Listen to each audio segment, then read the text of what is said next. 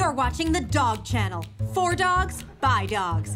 At 8, it's How Do Doors Work, followed by Get Down Here, Bird. But now, back to Top Dog Chef. The best dog chefs from around the country have come here to compete in our kitchen. But only one can be Top Dog Chef.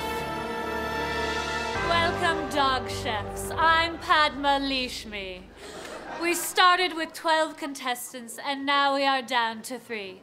Many were eliminated, some ran away, and one had to be put down.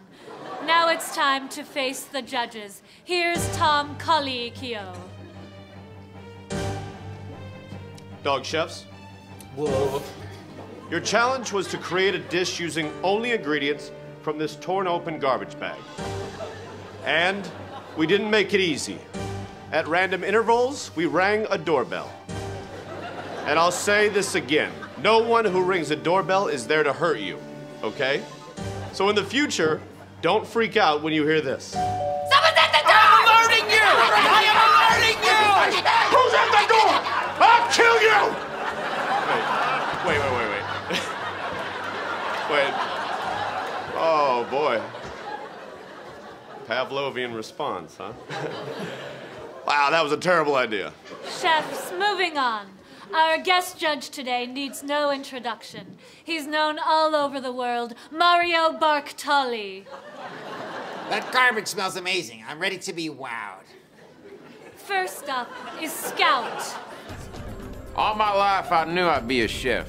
As a pup down south and all the other dogs were content to just lick their balls, it was me who first said, why not add a little mud? Mmm.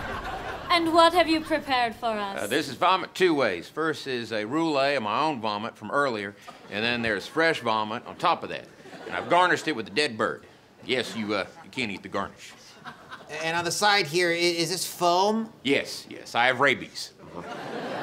Well, you know, it looks excellent, Scout. And, uh, and how did you decide on this presentation? Because it seems very. Scout? Scout! Scout, where'd he go? Thought I heard a UPS truck. You know, I just booked it out of there. No warning, ran for miles. Up.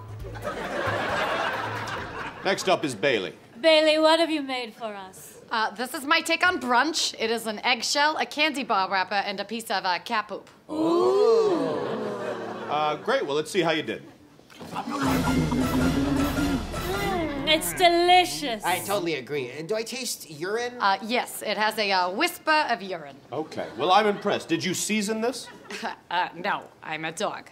Well, it was excellent. As excellent as everything else we've ever eaten. Yeah, well, except for that carrot that one time. Oh. Bad. no, It was I bad. did not understand. I didn't know if it was food or a Weird. toy. Yeah, it was odd. Yeah. Next up is Hershey.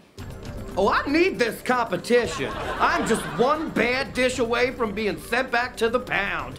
Don't mess this up, Hershey. Don't you mess this up. How'd you do, Hershey? Oh, I messed this up. What happened to your dish? I ate it. I ate all of it. I ate the rest of hers too. I kind of ate everything. Right now, there is a sock in my stomach. I'm a mess. Well, then we've made our decision. Congratulations, Bailey.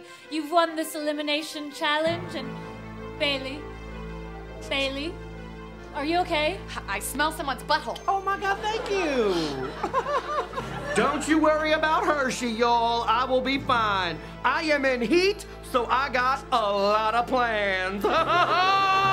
Next week on Top Dog Chef. Today we have a special challenge. Each of you will have to team up with a cat. Screw you guys! Now screw you! I hate you! I hate you! I hate you! I hate you!